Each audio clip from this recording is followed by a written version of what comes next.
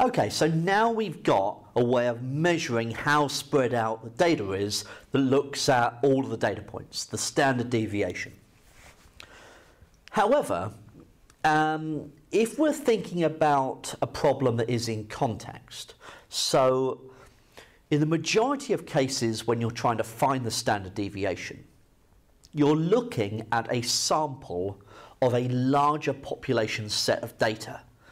Okay? And the reason why you might want to find the standard deviation of that data is so that you can estimate what the standard deviation is of the population.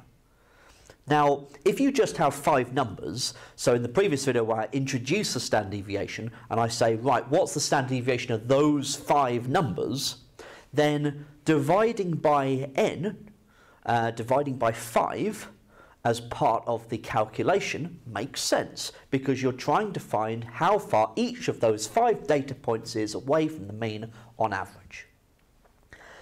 But as I said, in context, the context problem, that's not really often the case. Sometimes it is. Um, if you've got um, your class set of results of 20 pupils' results and you want to find the standard deviation of that class, then yeah, dividing by 20 makes sense, dividing by how many bits there are. If, however, you were looking at, um, let's say you wanted to determine the standard deviation of the heights of elm trees in the UK, then you can't physically measure all of the heights of all of the elm trees in the UK. Okay? You'd have this huge set of data. Okay? Absolutely huge set. So I'll represent it like, like this. Okay, loads and loads and loads of bits of data. Far more than you can ever actually find. You can't like go out and measure all of the heights of all of the elm trees in the UK. It's just physically impossible, okay? So what you would do is you would instead take a sample. So you would pick, let's say, well, you'd pick these randomly, okay? These would be picked randomly. Okay, and there's my sample of the data. Now, if I find the standard deviation of those ones that I've picked, it will tell me how far away, on average, each of those data points is away from the mean of that data set. Okay? However, as you can see, just by me randomly picking these data points, the standard deviation of this set of data is not going to be the same as the standard deviation of the whole set of data. Okay? And in all likelihood, because I'm randomly selecting uh, each data item, the likelihood that I pick out extreme values, so either very tall elm trees or very short elm trees, is actually quite small. So, the standard deviation that I get from my sample is likely to be smaller than the standard deviation of the population. Okay? So, whereas the standard deviation of the sample, okay, which you could work out as sigma x, which we know was the sum of the squares divided by n square rooted. Okay, so that would be the standard deviation. So if I write it out in full, that's the sum of the x minus x bar squared over n square rooted. Okay, that would be the standard deviation of the numbers in the sample.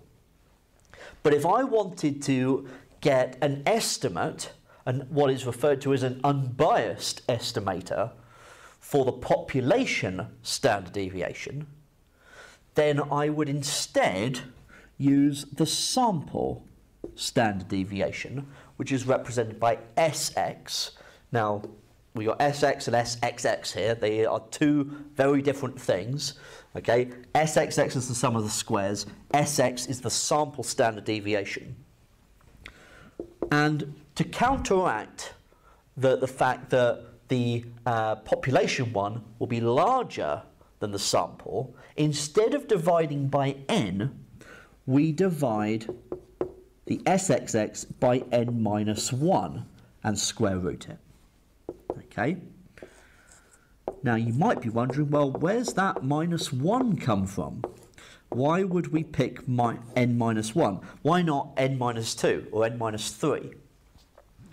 Well, it's one of those things at this stage in statistics where um, you've kind of got to come to terms with the fact that there are some bits in stats where a number has been chosen arbitrarily because it's relatively easy to work with and also because it gives a suitable answer and has been shown to be suitable from uh, examples, from previous examples that have been made.